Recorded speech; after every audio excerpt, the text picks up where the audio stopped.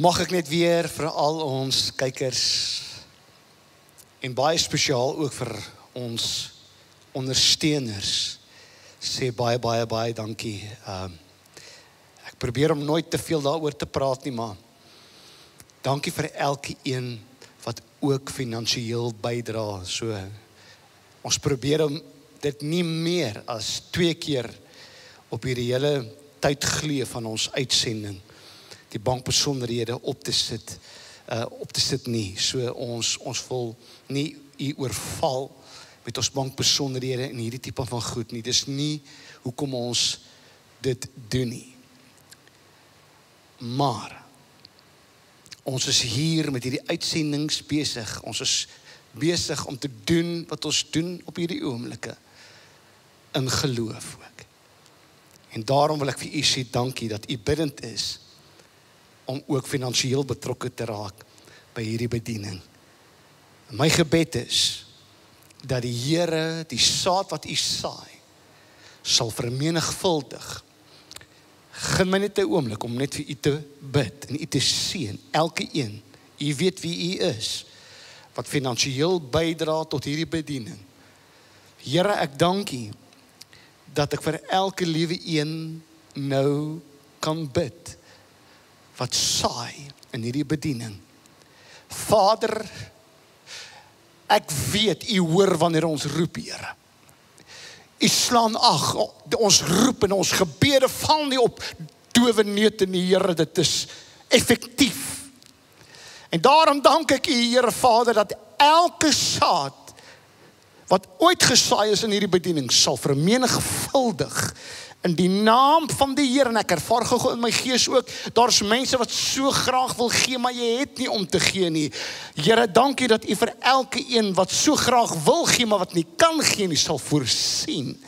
In die naam van Jesus, Here, maak die sluise van die hemele oop oor hulle Vader, dat hulle die guns en die goedheid van God sal sien. Here, dit is 'n natuurwet dat wanneer ons saai, is daar altyd 'n oes en hoeveel te meer in die koninkryk van God wanneer dit gesaai word op vrugbare grond en ek eer die Here dat hy elkeen se saad sal vermenigvuldig in Jesus naam.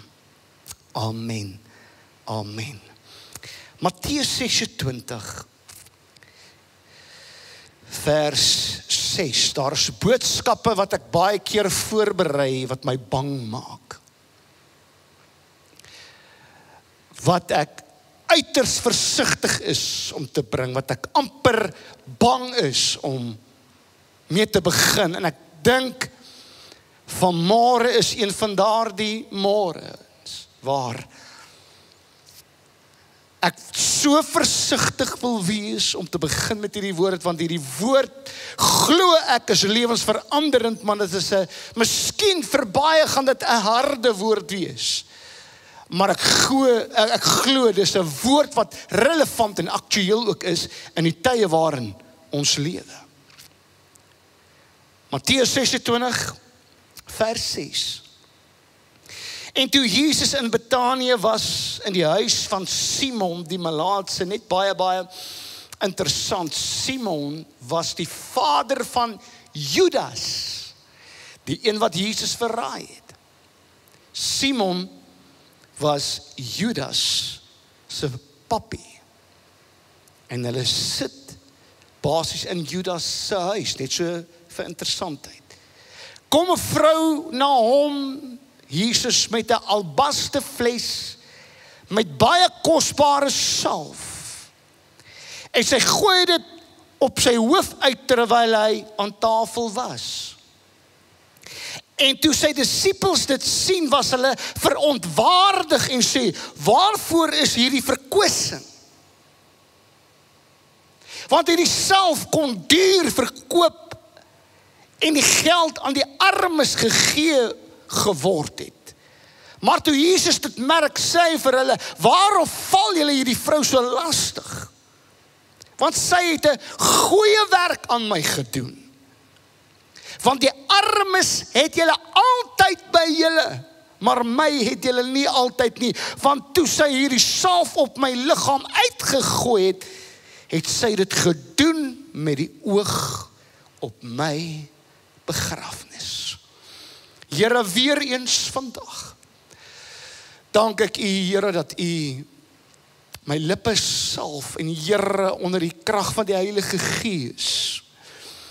Here hierdie lippe van klei gebruik om met elke hart en siel wat nou ingeskakel is en kyk na hierdie uitsending dat jy elke ene sal aanraak deur hierdie woord en praat ook met my vanmôre Here. En ek eer U daarvoor in Jesus naam. Amen en amen. Ek wil met u praat oor iets wat ons almal so graag gee, wil gee. Maar ons is nie altyd bereid om dit te ontvang nie. En dit is kritiek. Kritiek. Verstaan my baie mooi wanneer ek die volgende sê. En ek sê dit met die liefde van die Here. En u sal nou agterkom hoekom ek hierdie stelling maak, maar mense is komplekse wesens om te verstaan. Iemand het een keer op Facebook iets geplaas wat sê the more I get to know certain people, the more I realize why Noah only let animals board the ark. En ek dink baie van ons kan vereenselwig met hierdie stelling. Niemand van ons hou daarvan om alleen te wees nie. Ons soek altyd mense om ons. Ons wil nie alleen werk nie. Ons soek kollegas om ons. Ons wil nie alleen bly nie. Ons wil deel vorm van 'n gesin. Ons wil 'n man hê, ons wil 'n vrou hê, ons wil ons kinders om ons hê, ons wil ons ouers in die gesin, in die familie hê, oupas en oumas en ooms en tannies. Ons wil nie alleen wees nie en ons soek mense om ons, maar dit is nie altyd maklik nie.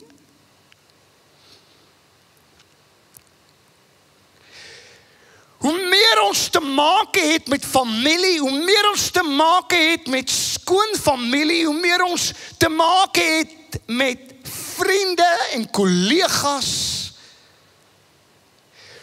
Hoor my mooi vandag en, en, en bly net by my. Ek het, ek ek het nodig om hierdie goed te sê om uit te kom waar ek graag wil uitkom. Hoe meer het ons te doen met ingewikkelde, moeilike, uitdagende persoonlikhede.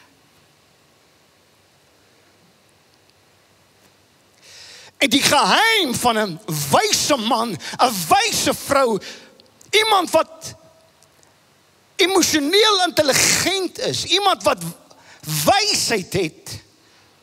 'n Man en 'n vrou met integriteit en waarde is daardie een wat weet hoe om hierdie ingewikkelde, moeilike, uitdagende persoonlikhede apart in sy eie reg te kan hanteer op 'n unieke manier. Hulle sê daar is 16 soorte persoonlikhede. 16. Met ander woorde daar is 16 verskillende in 'n gegeewe saak en 'n gegeewe situasie is daar 16 sieninge. 16 uitgangspunte. 16 tipes opinies, 16 tipe menings en 16 forme en soorte kritiek.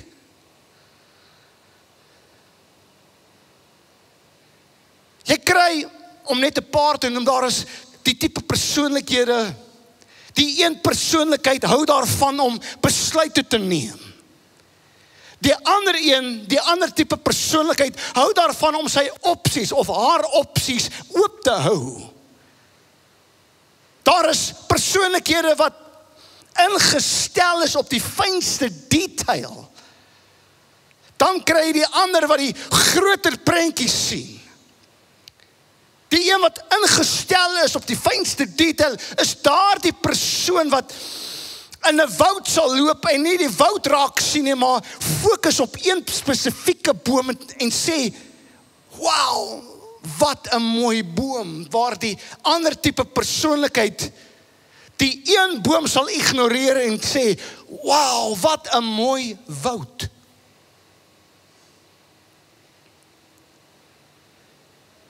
Dan is daar die een wat emosionele besluite neem en die ander ene wat rasionele, logiese besluite neem. Party wat baie praat wat hardop dink en die ander wat weer minder praat wat dink voor hulle praat. En dis as gevolg van hierdie verskillende forme en soorte persoonlikhede van mense om ons dat dit juis die rede is hoekom daar soveel opinies is oor 'n gegeewe saak, 'n gegeewe situasie. Hoekom daar so baie kritiek is. En die vraag wat ek vandag vir u wil vra is: Hoe hanteer jy kritiek in hierdie lewe? Want of jy nou daarvan hou of nie, baie van ons vorm deel van daardie persoonlikheid wat moeilik is om te verstaan en te begryp. Daar is mense met 'n komplekse, ingewikkelde persoonlikheid en op die ou einde deurloop onder geweldige kritiek. Kom ons kom terug na die woord van die Here toe. Hierdie verhaal vind plaas in 3 evangelies. Uit die 4 evangelies kom hierdie verhaal 3 keer voor. En Jesus sit by Simon en Maria kom ingestap met 'n albaste fles met hierdie ongelooflike duur nardesalf. En sy kom in en sy giet hierdie hele albaste fles giet sy uit elke liewe druppel op Jesus. En in Matteus se weergawe was die sê die Bybel daar was die disippels verontwaardig gewees oor wat hier gebeur het. Maria wat hier inkom met hierdie ongelooflike duur nardesalf en alles uitgiet oor Jesus. In Markus se weergawe het die kritiek gekom oor hierdie daad van sê die Bybel van sommige wat daar teenwoordig was. En dis Johannes wat baie meer spesifiek raak. En sê dis Judas wat hierdie stelling aangemoedig het en oopgestel het. En dit maak nie saak hoe mooi die intensies van Maria was nie. Die mooiste bedoelinge uit haar hart uit in hierdie daad wat sy doen om hierdie waardevolle salf, hierdie narde salf oor Jesus uit te giet. Was daar duidelik diegene wat 'n probleem gehad het met hierdie heilige daad van Maria. Kom ons kyk net gou-gou na Maria. Maria se persoonlikheid was daardie persoonlikheid van iemand wat met hulle gevoelens op hulle skouers loop. Sy het nie omgegee wat mense van haar dink nie. Almal het geweet die dag wanneer Maria hartseer is en almal het geweet die dag wanneer Maria opgewonde is. Sy's die een wat by Jesus se graf onbeheerst gehuil het by die graf van Jesus. Sy kon haar emosies nie in toom hou nie. En weer die uiterste kant aan die ander kant toe toe Jesus vir Lazarus uit die dood uit opgewek het, toe word sy charismaties Hy word hierdie energieke, aangename persoonlikheid wat mense na hart toe aangetrek het. Met ander woorde, sy was hierdie tuimeltrein. Daar was nie 'n tussenin met haar emosies nie. Dit was of die uiterste die een kant toe of die uiterste die ander kant toe. Daar was nie 'n middellyn gewees nie. En volgens Johannes se weergawe was dit juis direk na Jesus vir Lazarus uit die dood uit opgewek het. Net die volgende hoofstuk wat hierdie hele gebeurtenis plaasvind. Dag Maria op by Simon se huis weer met haar emosies op haar skouers. Kom sy met hierdie waardevolle nardesalf, hierdie baie duur salf, hierdie parfuum en dames weet en mans ook dat parfuum is ontwerp om druppeltjies te gebruik op jou. Druppeltjies. Dis veronderstel om baie lank te hou, maar Maria met hierdie persoonlikheid wat nie bang was om haar emosies te wys nie, kom sy en sy breek hierdie albaste fles en sy giet al daardie duur nardesalf parfuum uit oor Jesus. En Johannes skryf in sy weergawe en hy sê die hele huis was gevul met hierdie reuk van hierdie kosbare salf. En omdat ons te doen het met soveel persoonlikhede in hierdie lewe, 16 van hulle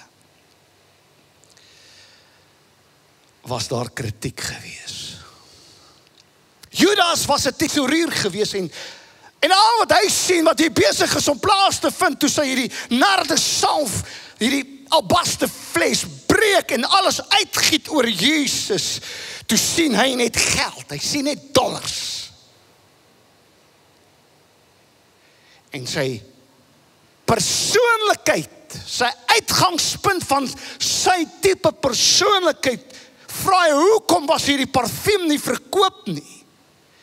En die geld nie aan die armes gegee nie. En kom ek beweeg dit gou vinnig weg. Kom ek vra gou vir u wat nou na my kyk. Hoeveel van u was al gekritiseer gewees in u lewe oor iets wat jy gedoen het en jou bedoeling was absoluut net goed. Ek dink daar's nie een wat nou ingeskakel is wat sê Clemens, ek weet nie waarvan jy praat nie. Ek dink ons almal het al iewers 'n daardie daad gedoen. Jy het dit met die mooiste en die beste intensies gedoen, maar hierdie ding het jy kom byt op die hakskeen.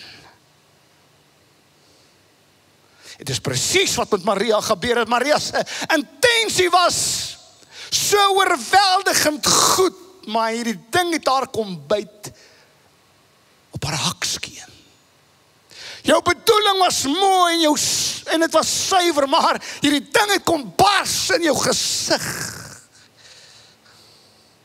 En dis juis omdat daar so baie persoonlikhede is dat ek en u vandag moet verstaan dat dit maak nie saak hoe mooi en hoe goed jou intensies is en was nie daar sal altyd kritiek kom van 'n ander persoonlikheid, iemand wat nie dink soos jy nie.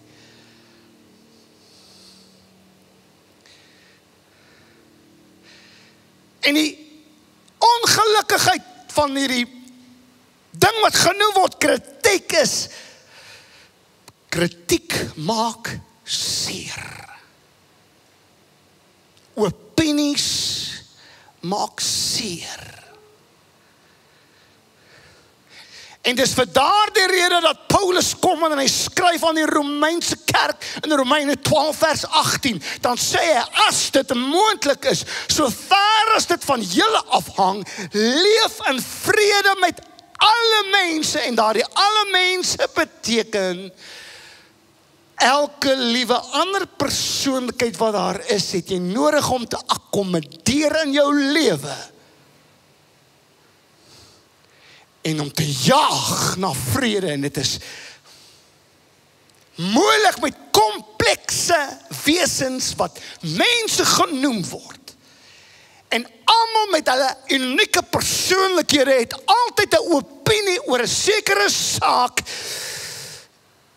En dan sê Paulus, ons het nodig om in vrede met alle tipe persoonlikhede saam te leef. Jy sien, daar is mense ongelukkig wat net daarop uit is om dit so moeilik as moontlik vir jou te maak om in vrede en in harmonie met jou saam te leef. Ons ken hulle. En hier is die ding wat ons vandag na kyk is Jesus was geforseer om op so 'n persoonlikheid te reageer. 'n Moeilike, ingewikkelde, komplekse persoonlikheid Judas.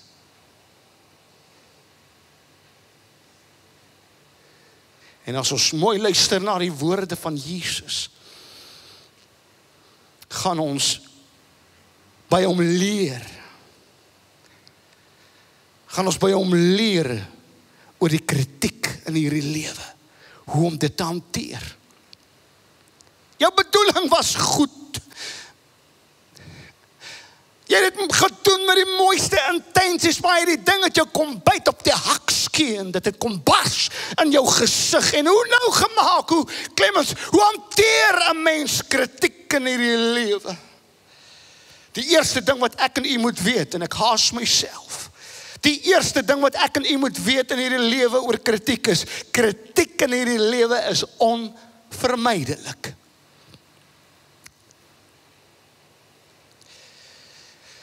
Jy sal nooit in hierdie lewe deur die lewe kan stap sonder enige ander mens se opinie en mening op jou lewe nie. 16 verskillende persoonlikhede, 16 verskillende opinies, 16 verskillende menings en vorms van kritiek. ek het nou baie te doen met YouTube en en so aan as gevolg van ons YouTube kanaal op die sosiale platforms. En myself ook wanneer ek na 'n video kyk op die sosiale media dan maak dit nie saak hoe mooi, hoe goed, hoeveel geld is geïnvesteer in daardie produksie van daardie video wat op op hierdie op YouTube is nie of op Facebook nie, maar daar is altyd oorweldigend vernam as dit nou iets baie besonders is, is daar altyd oorweldiging likes. Hierdie duimpie wat opwys en en almal sê like like like like like like maar daar is dit maak nie saak hoe goed daardie video is, hoe goed daardie boodskap is, hoe goed daardie musiekvideo is of wat dit ook al mag wees wat op video vasgevang is en geplaas is op hierdie YouTube nie of op Facebook of waar ook al op die netwerk nie. Daar sal altyd 'n persoonlikheid wees wat dit dislike. Wat daar duimpie wat afwys druk en sê dit pas nou nie vir my tipe persoonlikheid nie.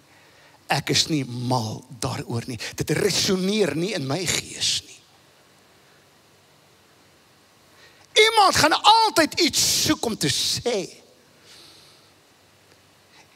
Iets was iewers op daardie persoonlikheid of in daardie persoonlikheid nie 100% op standaard gewees nie. Kritiek in hierdie lewe van 16 tipe persoonlikhede is onvermydelik. Jy gaan nie 16 mense laat saamstem oor enige saak nie. En as jy gelank genoeg leef, skouers skuur met genoeg mense, jouself betrek met genoeg ander mense, is dit net 'n kwessie van tyd wanneer jy gaan teen 'n muur vasloop wat genoem word kritiek. En Maria was gekritiseer geweest omdat geld betrokke was, baie geld. En en waar geld betrokke is, maak gereed vir 'n oorlog van kritiek.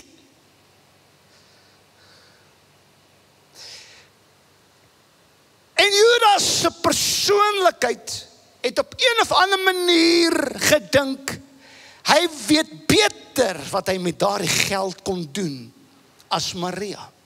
En nou ek gebruik maar net Judas in hierdie voorbeeld. Maar die ander gedeeltes praat van daar was baie ander in daardie vertrek wat eintlik ook saam met Judas gestem het. Daar was ander persoonlikhede soos Judas in daardie vertrek wat sê maar hey ons stem saam met Judas. Dat hierdie was eintlik onnodig want hierdie hierdie salf, hierdie parfuum kon verkoop gewees het en hierdie geld kon aan armes gegee gewees het. En kyk as jy mense aan die praat wil hê, doen iets wat duur is. so net so voor die pandemie 2 jaar terug voordat hierdie pandemie begin het was ons redelik op koers gewees om grond te koop en kerk te bou en so aan maar as gevolg van die pandemie moes ons alles stop en intedeel ons moes dit heeltemal stop omdat soos baie ander bedieninge daar buitekant was finansies 'n uitdaging en ons moes alles vashou en en almal was net in oorlewings op 'n oorlewingsstatus en en almal moes net oorleef. En baie interessant kan ek onthou toe ek vra ons wil kerk begin bou en dit wat ons nodig het. Toe was daar persoonlikhede wat gesê het dis onnodig vir julle om 'n kerk te bou. Gee eerder vir die armes kos. Waar geld betrokke is, sal daar altyd tweedrag wees, sal daar altyd opinies wees van sekere persoonlikhede wat sê ek het 'n ander sienswyse as jy. En dit maak nie saak wat my intensie is as herder van hierdie bediening en herder van hierdie hierdie ongelooflike familie wat die Here my gegee het met my vrou nie dat ons mense wil impakteer, dat ons mense wil help groei, dat ons mense wil geestelik transformeer om 'n verskil te gaan maak in hulle werksplekke, om 'n verskil te gaan maak in hulle gemeenskappe waar hulle beweeg. Wat ook nie verkeerd is nie volgens my persoonlikhede en of my persoonlikheid eerder en en ek dink daar is baie ander weer wat sê Clemens maar ons is saam met jou. Ons wil hê daar moet 'n ordentlike aanbiddingsplek wees, 'n plek van uitnemendheid en deeglikheid om mense te transformeer om in God se koninkryk iets te gaan beteken, om mense te bemoedig, aan te moedig om vir die armes ook te gaan gee. So ry nou net 'n te groot kar. 'n Nuwe voertuig. Bly nou net in 'n te groot nuwe huis in 'n te goeie area. En kritiek kom van self. Dis onvermydelik. Maar Maria het iets geweet in haar hart van Jesus wat gaan sterf, wat van Jesus wat doodgemaak gaan word en die, met die mooiste bedoelings en die mooiste intensies was haar bedoelinge nie gedeel met almal nie, vernaam nie by Judas nie. Haar emosies was afgemaak in hierdie publieke verklaring van waardering van van Maria was gekritiseer. En nog gelees is ons het die motiewe van kritiek nodig om te verstaan. Johannes gee vir ons die motief van Judas. Dit is skokkend. Dit is jy kan dit amper nie glo nie want dit is 'n disipel van Jesus. En Johannes se perspektief kom hy en en ook in die ander evangelies, maar Johannes spesifiek en hy noem vir Judas 'n dief. Johannes 12 vers 6 sê en dit het hy gesê Dis nou Judas wat gesê het, julle kon nie die narde salf kon julle verkoop het en die geld aan die armes gegee en uh, gegee het en dit het Judas gesê volgens Johannes en Johannes skryf en hy sê nie omdat hy besorg was oor die armes nie. Maar omdat hy 'n dis harde woorde, 'n dief was en die beurs gehaat het en die bydraes geneem het. So ja, Judas het nie gesien die die wonderlike daad wat Maria uit die diepte van haar hart gedoen het nie. Nee, hy het net gesien, nie net om 'n verskoning voor te hou dat hierdie hierdie hierdie narde salf kon verkoop gewees het en die geld kon aan die armes gegee het gegee geword het en Maar hy het 'n intensie, hy het 'n motief gehad wat hy eintlik daardie geld vir homself wou gehad het. En hy het net 'n geleentheid gesien om sy eie sak te vul met hierdie uitbarsting van Maria se dankbaarheid en vrygewigheid en dit wat sy bewys het aan Jesus. En hier is die ding. Wanneer jy verstaan hoekom mense kritiseer. Dan raak dit makliker om daarmee te deel. Aan die ander kant, nou wil ek my net so 'n bietjie bietjie draai in 'n op, op 'n sekere manier. Aan die ander kant is emosionele intelligente mense daarop uit om kritiek te soek. Wyse mense sê hou op om my oor die kop te streel, hou op om my aan te moedig, hou op om vir my te sê hoe wonderlik en hoe fantasties. Gee my opbouende kritiek. Want statistieke sê dat as een persoon so voel, is daar ook ander wat so voel om terug te kom na Judas toe. Judas het gevoel soos baie ander in die vertrek volgens die ander evangelies, maar Judas was die enigste een wat werklik 'n verkeerde motief gehad het oor hierdie saak. Hy het dalk die geld vir homself gesoek, maar daar was ander in die vertrek wat gesê het ek dink ek stem saam. Dit was dalk onnodig. As een so voel, is die kans baie goed dat ander so voel. Daarom is daar die jou intelligente, emosionele intelligente mense, jou wyse mense, jou mense met waarde, mense wat impak wil maak, mense wat verandering wil bring. Daarop uit om te sê, moenie my oor die kop streel nie. Gee my jou eerlike opinie, lewer kritiek. Kritiek is 'n goeie ding. Ons het dit nodig. En in my persoonlike lewe is my vrou die eerste een wat my kritiseer. Maar ek moet sê dit is nie om my af te breek nie, maar om my te help om te groei en te verbeter. En wyse mense vra altyd kritiek.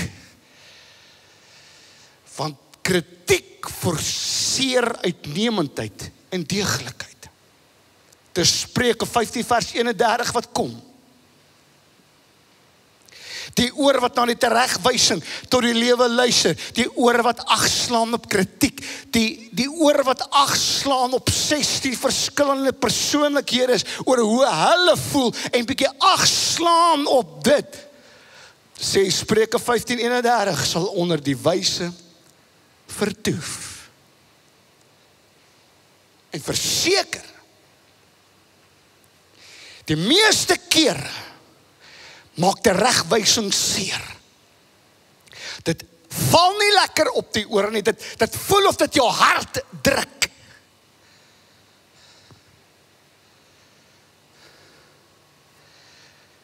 En wyse mense weet ongeag hoe ongemaklik dit is, hoe ongemaklik dit is om te hoor wat die kritiek is, wat die opinie van ander persoonlikhede is, is dit wel nodig.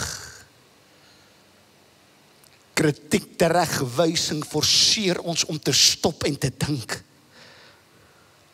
Om jou dade te oorweeg om jou te herinner dat alles wat gebeur in hierdie lewe deur God gebruik word om ons karakter te vorm en wyse mense weet om ag te slaan op ander persoonlikhede om ander 16 persoonlikhede of 15 jou ingesluit 16 te akkommodeer en te weet dat hierdie goed kritiek en opinies moet ons hoor sodat dit kan help om ons karakter te vorm in wysheid volgens die wil van God en die mens moet jy verstaan bestaan uit gees, siel en liggaam en die, en die vlees is so hypersensitiewe kritiek. Ons haat dit. Maar die geesmens Jou geesmens wat gevul is met die Heilige Gees sal weet hoe om kritiek goed of sleg te hanteer en hoe om dit toe te pas. Of om te verwerp. Hoekom lewer ons opinies? Want die mens voel my lewe tel ook. Jy kan nie net sê wat jy wil nie. Ek mag ook 'n opinie lewer want ek is ook 'n mens, nes jy. Ek lewe ook op hierdie aarde. My sê tel. Ons is gebore amper om opinies te lig. En elkeen voel in hierdie lewe, ek het ook 'n stem en elkeen in sy eie hoedanigheid en sy eie persoonlikheid sê, ek het 'n stem, ek mag 'n opinie lewer. Maar as ons kinders van die Here wat ons daardie verskriklike fyn lyn moet onderskei van wanneer om kritiek te lewer en wanneer om te swyg. Ek kan nie vir u sê weer eens hoe belangrik is hierdie woord nie. Ek ek bid sodat die Here my help om hierdie ding reg oor te dra aan u sonder om kritiek te kry.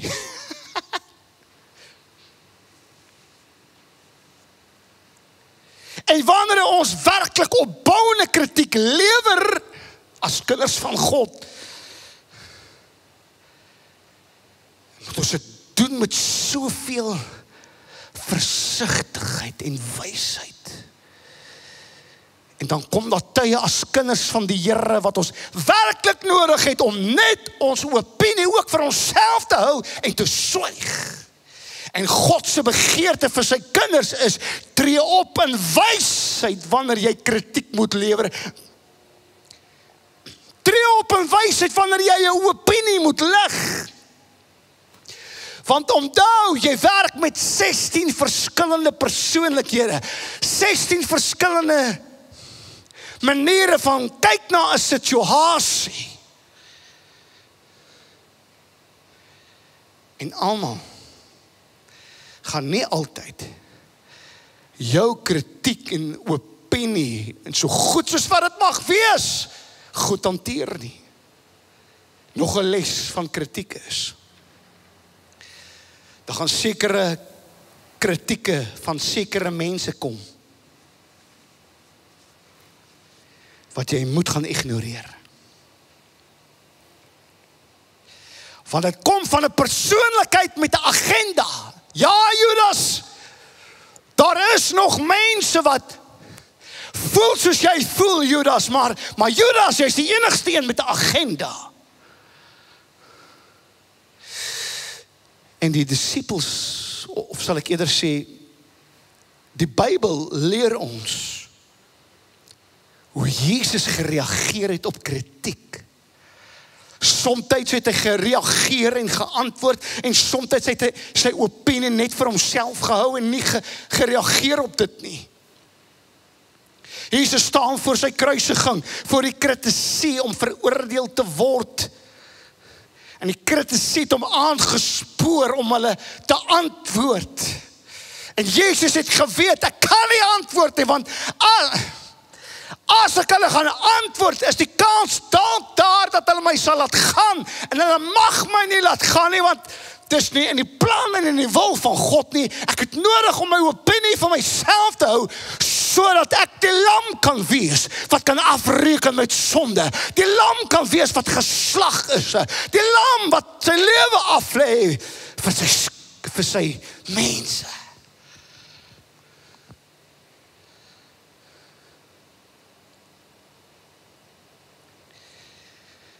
En Jesus hou sy opinie vir homself. Het hulle nie geantwoord nie.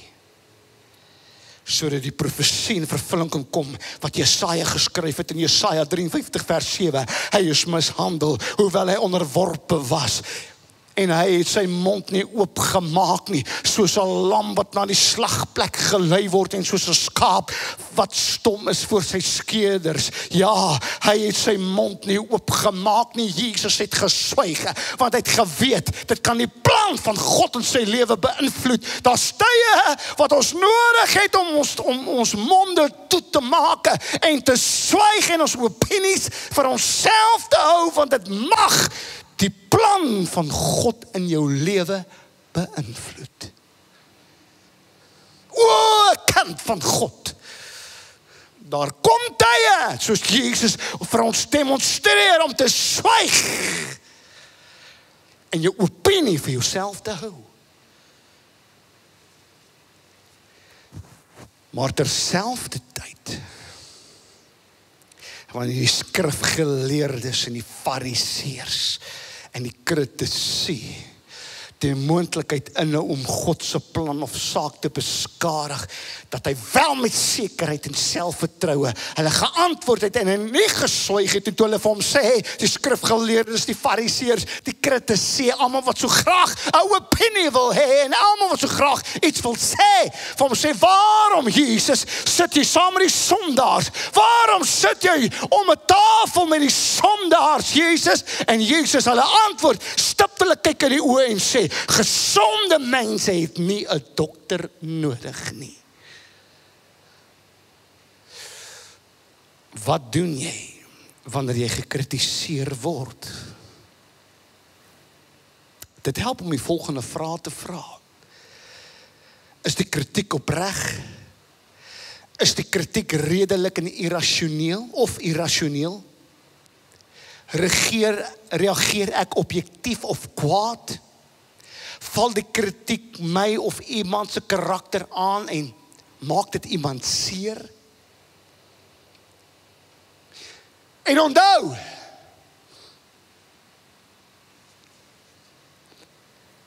Wanneer iemand jou kritiseer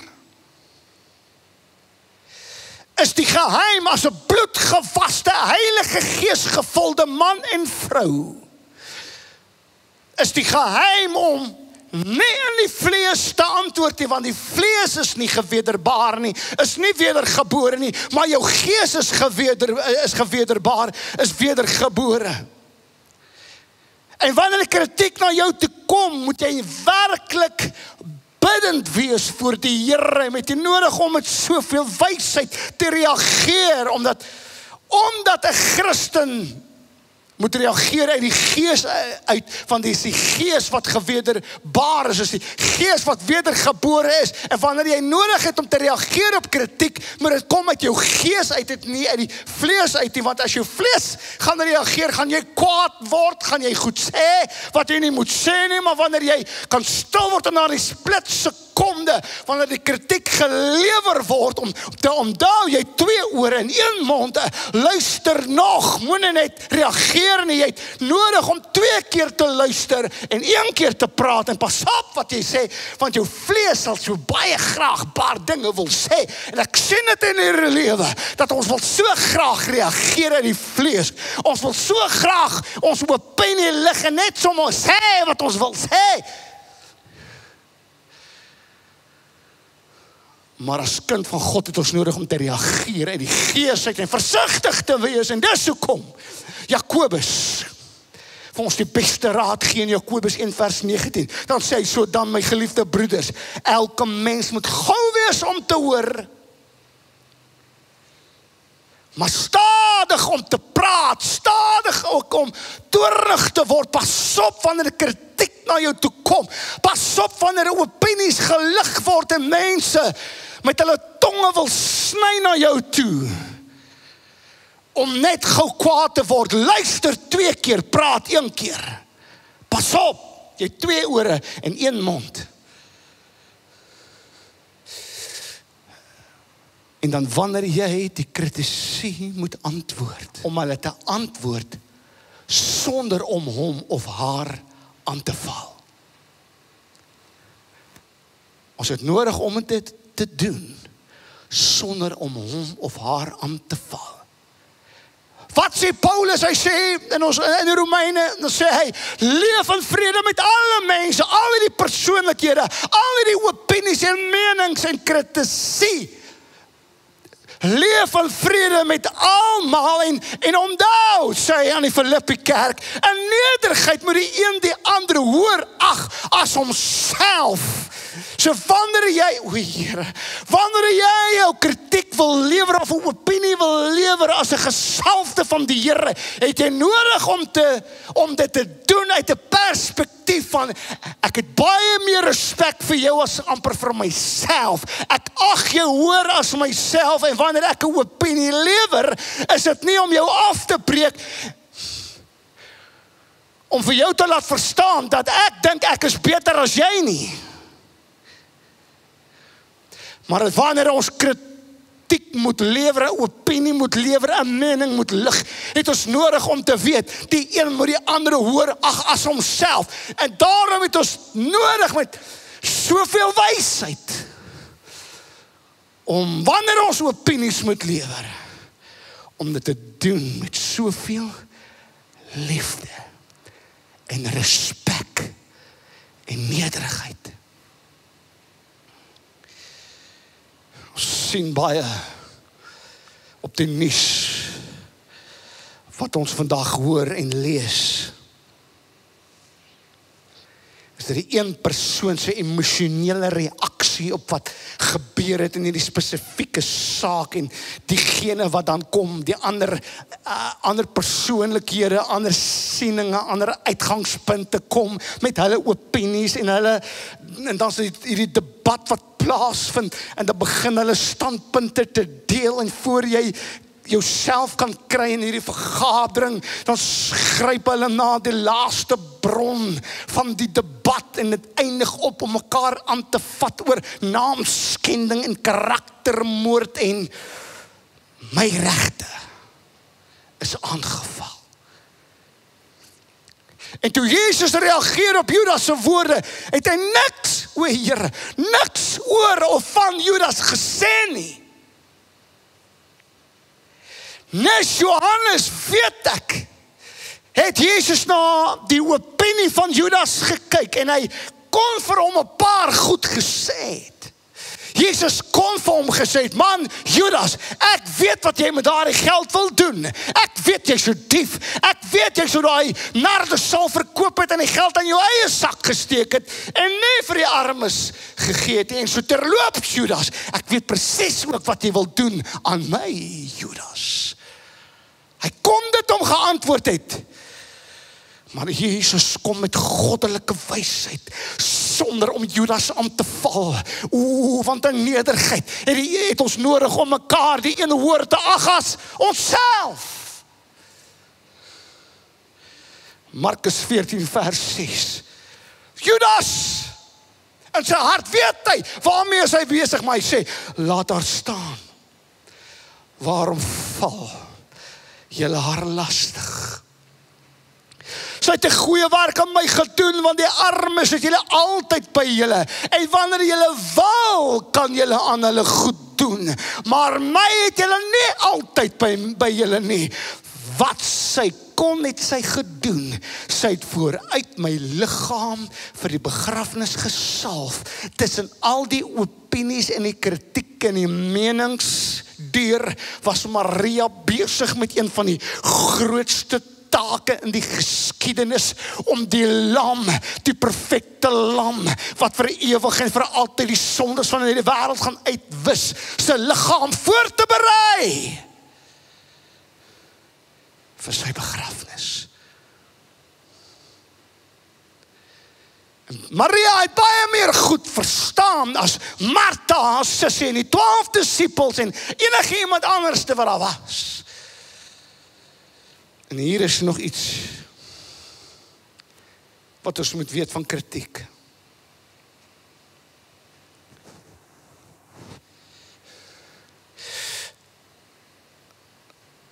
As ons eerlik moet wees met mekaar. Party kritikuste se kritiek maak baie meer seer as ander. As iemand in jou buitekring kritiek lewer, is dit maklik om dit weg te gooi. Maar as daai kritiek kom van jou man en jou vrou, jou familielid, 'n familielid, 'n vriend, kan dit nogal seer maak, maar maar onthou, dit vind juis in die binnekring plaas want dis mense wat werklik omgee vir jou en dis mense wat jou wil skaaf. Dis mense wat jou wil vorm om beter te wees. Hulle wil nie hê jy moet in 'n verleentheid kom nie. Hulle wil nie hê jy moet skaam kry nie. Nou sê hulle vir jou in 'n eerlike op 'n eerlike manier, miskien in 'n kritiek vorm vir jou. Gee hulle jou die antwoord en Dit val nie lekker op die ore nie man, want ons weet dat die waarheid maak seer. Kritiek skaaf ons. Dit vorm ons om beter te wees, maar in wysheid het ons nodig om dit reg te hanteer as kinders van die Here. Want dit is onvermydelik. Ek sluit af. Ten laaste. Moenie dat kritiek jou roof van jou vrede nie. Moenie dat kritiek jou roof van jou vrede nie. Maria het met haar onbeheerste liefde vir Jesus hom voorberei vir sy begrafnis en Jesus het nooit vergeet wat die doel was vir sy koms na hierdie aarde toe nie. Hy het nie vergeet hoekom is hy na hierdie aarde toe uh, gebring en hier na hoekom het hy hier na toe gekom nie. Hy het nie daarvan vergeet nie. Hy het geweet hy is hier om te soek en te red die wat verlore was, uh, om af te reken met sonde, om die mens met God te versoen. O, oh, want sonde het ons ontbreek. Maar God, maar Jesus, hy het gekom na daar om na hierdie aarde toe om ons weer te versoen, om ons weer te verbind aan God die Vader, sodat ons in 'n verhouding kan wees met hom. Jesus het nie sy doel vergeet op hierdie aarde nie. Hy het nie toegelaat dat 'n bietjie kritiek hom afskrik nie. Jy het nodig. Ek het ek voel dit in my gees. Mense kritiseer jou, jou bedoelinge is net goed, maar jy's in die proses besig as gevolg van die kritieke om fokus te verloor. Jy's besig, jy's besig om te draai en jy jy jy, jy hou nie van die kritiek nie, maar die kritiek wil jou wil maak dat jy jou doel mis. Maar Jesus het dit nie toegelaat nie. En een van die moeilikste take in hierdie lewe is om gefokus te bly vernaam wanneer daar soveel kritiek en opinies en menings van mense is. Dis wanneer 'n leeu stap in die wildtuin op pad na sy destinasie toe en 'n klein foksterrier kom blaf hier op sy hakke gaan hy nie sy koers verloor nie. Want hy's 'n leeu. Hoor gou mooi die leeu en die stam van Juda leef binne in jou. Moenie laat die foksterriers in hierdie lewe wat kritiek wil lewer. Die mense wat nou nie sien soos jy dit sien nie. Wat miskien disrespekvol hulle opinie teenoor jou lig, jou negatief maak nie. Luister die leeu uit die stam van Juda. Beweeg saam met jou. Hou jou oë op die Here. Hou jou oë gefokus op jou doel waarvoor God jou geroep het en moet jou nie steur aan hierdie foksterriers wat jy blaf op jou hakke nie. Bly fokus op dit wat God jou voorgeroep het. Daar sal altyd kritiek wees. Dis onvermydelik. Jesus het dit gehad. Maar dit het nie sy goddelike doel beïnvloed nie. O, al praat die mense van my al draak die lewe my ek sal nie draai nie bly gefokus bly gefokus al praat die mense van my al druk die lewe my ek sal nie om draai nie sê my sê my hoe die Here so goed is vir my. Ek sal nie omdraai nie. Sê my sê my hoe kan ek wil omdraai? As die Here so goed is vir my ek kan nie omdraai. Al praat die mense mense van my. Al druk die lewe my. Ek sal nie omdraai nie. Oh, al praat die mense van my. Al druk die lewe my. Ek sal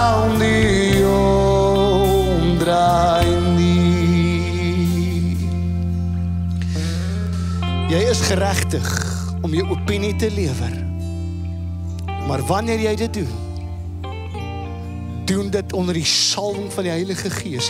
Reageer uit jou geesmense, nie uit jou vlees nie, want jou vleesmens is nie gewederbaar nie, is nie wedergebore nie, maar jou geesmens is ge wederbaar is wedergebore en ons het nodig om te reageer wanneer ons moet 'n opinie lewer om dit absoluut doen uit ons geesmens uit wat gewederbaar is. En wanneer jy gaan reageer uit jou geesmens uit, gaan jy dit doen met liefde, respek. Jy sal dit doen om vrede na te jag met alle mense, met alle persoonlikhede, alle opinies en alle meninge. Alle kritisie.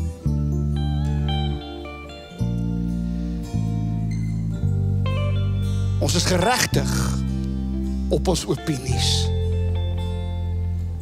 Maar in nederigheid moet die een die ander hoor ag as homself. Wanneer jy opinie lewer en kritiek moet lewer, doen jy dit met ongelooflike liefde van God. En respek. En onthou, ons is geregtig om opinies te lewer. Maar weet dit, hulle gaan praat van jou. Hulle gaan ook jou kritiseer. En jy het nodig om dit weer ook met soveel wysheid te hanteer want ja, kritiek skaaf ons. Kritiek vorm ons en Maak dat ons streef na uitnemendheid. Ons is nie arrogant en dink ons het nie kritiek nodig nie. Ons het gearriveer. Nee, ons weet dat God gebruik baie maal ander persoonlikhede om 'n opinie te lewer op ons om ons karakter te vorm. Laat toe dat jou karakter gevorm word. En sien hoe jy groei in wysheid. Ek het soveel goed gesê vandag. Ek is klaar. Mag u 'n wonderlike week verder hê. Dankie dat u geluister het. En die hand van die Here is op jou lewe. Hê 'n wonderlike week en as die Here se wil daarby is, sien ons mekaar volgende week. Totsiens.